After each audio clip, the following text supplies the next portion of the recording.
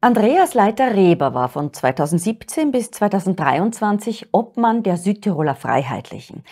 Nach der letzten Landtagswahl vor fünf Jahren gelang ihm zusammen mit seiner Parteikollegin Uli Meier der Einzug ins Parlament in Bozen. Er kandidiert am 22. Oktober erneut für den Südtiroler Landtag.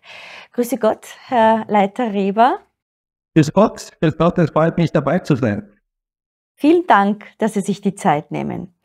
Herr Leiter Reber, Ihre Partei, die Südtiroler Freiheitlichen, erlitt ja bei den Landtagswahlen 2018 wie auch andere heimatverbundene deutsche Parteien starke Verluste. Wie glauben Sie, die Bürger im Oktober für ihre Ziele begeistern zu können?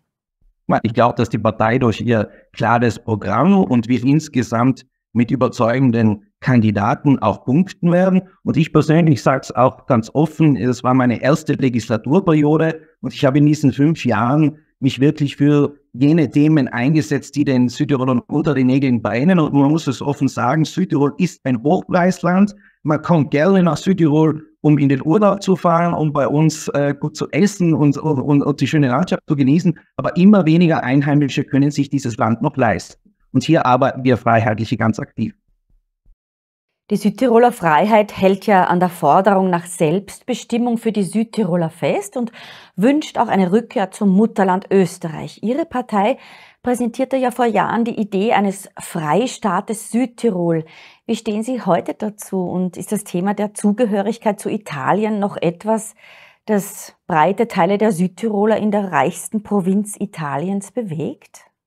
muss ich präzisieren, wir sind nicht die reichste Provinz, wir sind die teuerste. Nur. Na, das Thema Zugehörigkeit zu Italien ist nach wie vor ein Thema, aber es ist nicht mehr so, wie es vielleicht nach dem Zweiten Weltkrieg gefühlt war, sondern wir müssen heute eben die Südtiroler dort abholen, wo sie stehen.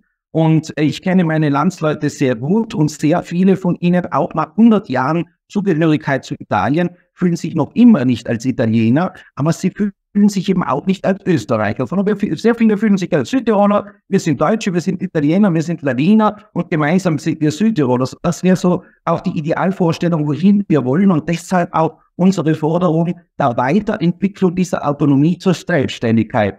Denn das ist nach wie vor das eines meiner Hauptziele, wo ich sage, das große Ziel neben den ganzen Alltagsproblemen ist es wirklich, die Souveränität und die Eigenständigkeit unseres Landes zu bekommen. Die kleine Schweiz Verstehe.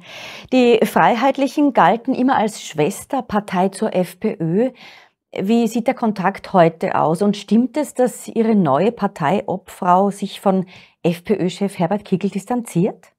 Da bin ich froh um diese Frage, damit ich da eines gleich klarstellen kann. Unsere neue Parteiobfrau hat sich nicht von Herbert Kickl distanziert, sondern von der Position gegenüber den Kärntner Slowenen. Da hat es irgendeine Aussendung, glaube ich, gegeben. Und das zeigt einfach wieder einmal, wir Südtiroler sind, was, wenn es um Volksgruppenschutz geht, sind wir einfach sehr sensibel. Und man muss es einfach sagen, eine klassische Rechtspartei, egal ob in Italien, Österreich oder Deutschland, die schaut natürlich auf die eigenen Volksgruppen. Die anderen, für die anderen Volksgruppen sind sie da meistens nicht so sensibel. Wir es bei den Rechtsparteien von Giorgia Meloni oder Matteo Salvini, die natürlich für die Italiener in Slowenien eintreten, aber immer noch gegen die gewachsenen historischen Ortsnamen in Südtirol sind zum Beispiel. Also das, glaube ich, liegt ein bisschen in der Natur der Dinge und das hat sie angeprangert, aber äh, das war es auch schon. Ich habe schon gehört, es sind ja schon ähm, Abmachungen, man fährt dann zum Martini-Treffen, deswegen ähm, das kann diesbezüglich entkräftet werden.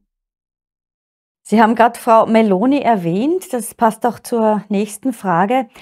Stichwort Einwanderung. Aktuell sehen wir täglich, wie auf Lampedusa Massen von Afrikanern anlanden und Italien von einem neuerlichen Asyl-Tsunami überrollt wird. Welche Auswirkungen hat das auf Südtirol und wieso unternimmt Melonis Rechtsregierung entgegen ihren Wahlkampfversprechen eigentlich nichts dagegen? Ja, das äh, ist bezeichnend und man sieht, wir haben mit Meloni und Salvini wahrscheinlich die rechteste Regierung, die es in einer Demokratie in Europa überhaupt geben kann. Und trotzdem steigen die Flüchtlingszahlen. Und das heißt, da sieht man einfach, dass die europäische Staatengemeinschaft es zusammen nicht auf die Reihe kriegt, die Außengrenzen zu schließen, Ankerzentren außerhalb der EU-Grenzen einzurichten. Und Italien wird hier auch wirklich allein gelassen.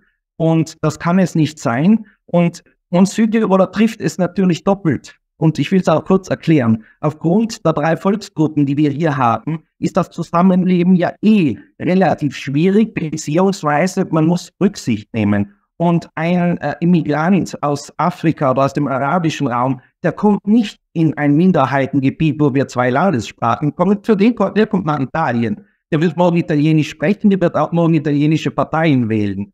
Und äh, deshalb ist es für uns doppelt schwierig. Nur man muss ganz offen sagen, Südtirol als Land hat keinerlei Zuständigkeiten. Wir haben weder Kompetenzen, was die Staatsbürgerschaft anbelangt, noch was Abschiebungen anbelangt, noch haben wir eine eigene Landespolizei, wie sie jedes deutsches, deutsches Bundesland hat. Deswegen, ähm, salopp gesagt, Südtirol hat in, in der Einwanderungsfrage gleich viel Zuständigkeit wie der Bongau oder äh, das Waldviertel.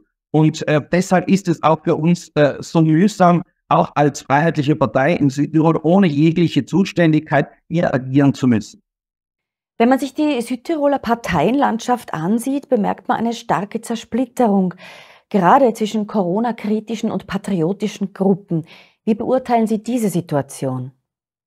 Ja, wir erleben eine Italianisierung und eine Amerikanisierung der Politik und auch der Parteienlandschaft. Es zählen in Südtirol weniger Inhalte, Programme, Überzeugungen, sondern immer mehr einzelne Figuren. Das erleben wir auch in anderen europäischen Ländern, aber in Südtirol derzeit ganz besonders. Und ich glaube, dass es auch deshalb so leicht ist, in Südtirol mit so Einzelparteien und One-Man-Shows zu starten, denn es gibt bei uns gar keine Parteienfinanzierung und somit auch fehlen den klassischen Parteien die Strukturen. Und ähm, wir starten somit, somit alle ähm, auf los mit, dem, mit den gleichen Voraussetzungen und es ist schon zu erkennen, dass die Menschen einfach was Neues wollen, Hauptsache was Neues. Also Veränderung suchen, nur äh, der Veränderung willen. Und ich muss ähm, eines, äh, die, Gelegenheit nutzen, auch eines noch einmal äh, ins Bewusstsein zu rücken. In Südtirol regiert seit dem Zweiten Weltkrieg, seit die Südtiroler die Demokratie kennen, regiert die Südtiroler Volkspartei seit über 75 Jahren durch mit einem italienischen Partner. Und diese Volkspartei ist keine klassische Volkspartei, sondern eine Sammelpartei von links bis rechts. Es gibt in Südtirol zum Beispiel keine sozialdemokratische Partei. Ähm, das ist auch ein, ein Spezifikum. Und hier äh, gilt es wirklich, und das ist auch meine, meine Überzeugung, es macht wenig Unterschied, ob jetzt zwei oder drei patriotische Gruppierungen gibt oder Parteien. Das Ziel muss es sein, diese Volkspartei, diese Vorherrscher einer einzigen Partei zu brechen. Erst dann kann eine Veränderung in Südtirol stattfinden. Herr Leiter Reber, viel, viel Dank für Ihre Zeit, für das Gespräch. Alles, alles Gute nach Südtirol. Gerne und liebe Grüße nach Ihnen. Dankeschön und bis zum nächsten Mal.